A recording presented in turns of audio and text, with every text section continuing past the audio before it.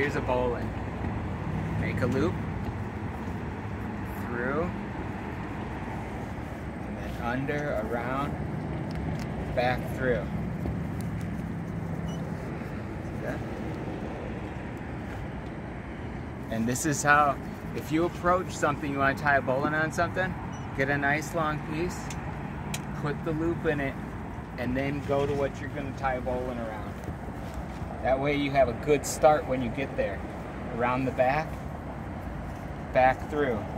So this is an example of around this bar. Let's try it again. Let's go through this, this hole right here. So imagine you're approaching a boat and you want to tie a bowline to the trailer eye. When you approach the trailer eye, get a length, put the loop in it, now you're ready. Now you go in through the loop,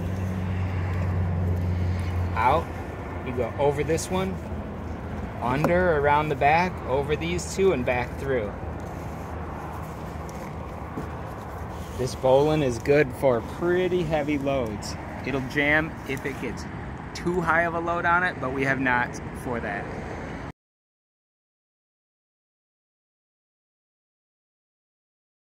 A bowline on a bight ties a loop in the middle of a line. So you can go right in the middle of a line. This is a good way to make a bridle for assistance towing. Grab a big bight like this, and now do your bowline with the bight. So you make your loop, just like a regular bowline, and then through the loop with the bight, around both of them,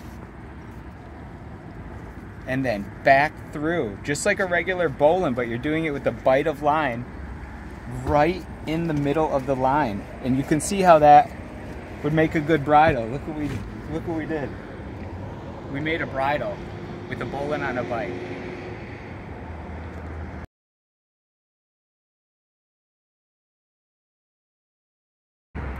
The cleat hitch. Let's take a deep dive into the cleat hitch. Two different types of cleat hitches. So the first type is what you'll usually see.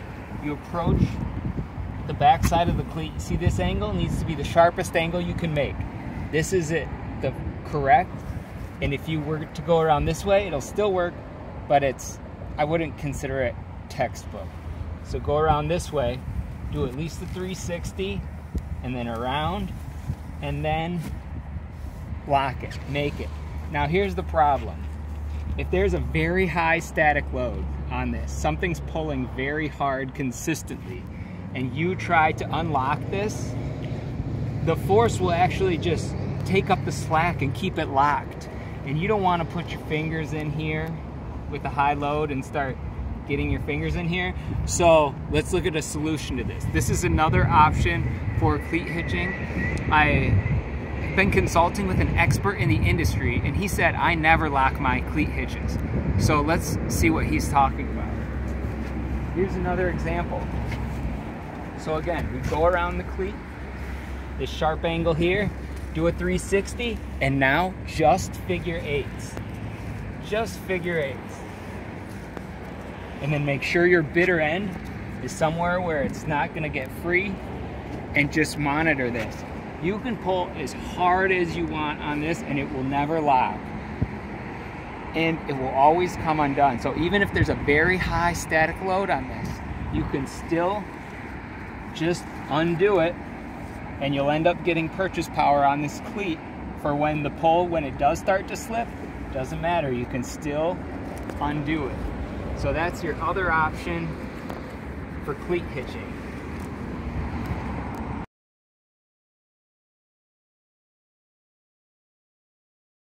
Let's look at two different hitches that do the same thing, a clove hitch and a round turn and two half hitches. The clove hitch, it's two successive half hitches. That's the definition. You go around and the secret here, keep it open like this and go around and come back through. This is a clove hitch. It'll always look like this. They'll run parallel and opposite like this. So now let's look at a round turn and two half hitches. So it'll go around the object. Here's a turn. Now all the way around, that's a round turn. And then two half hitches. Make like sometimes they say make a four and go through, pull this one, and then another half hitch, same direction. That's a round turn and two half hitches. And remember I said that a clove hitch was two successive half hitches? If you look, those two half hitches, what do you see? It's a clove hitch.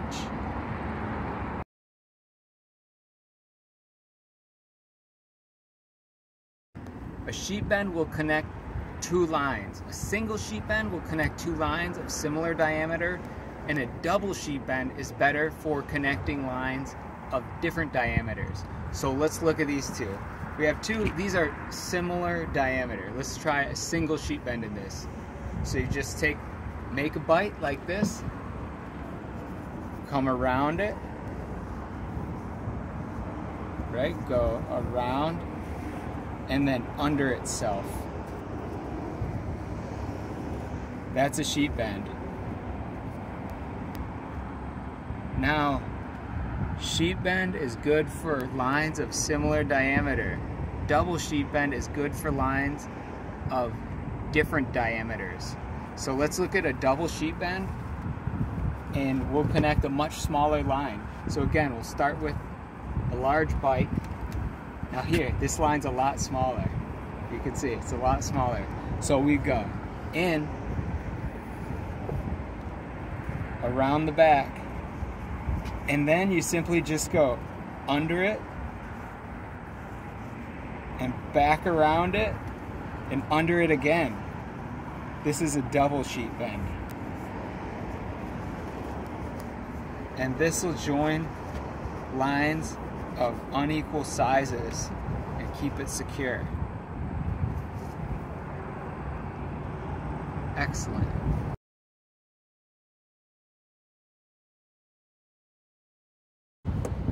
Let's make a carrick bend. A carrick bend is used to connect hawsers or the tow line end for end. It's meant for large diameter or rigid lines. It's, it's a good way to connect them.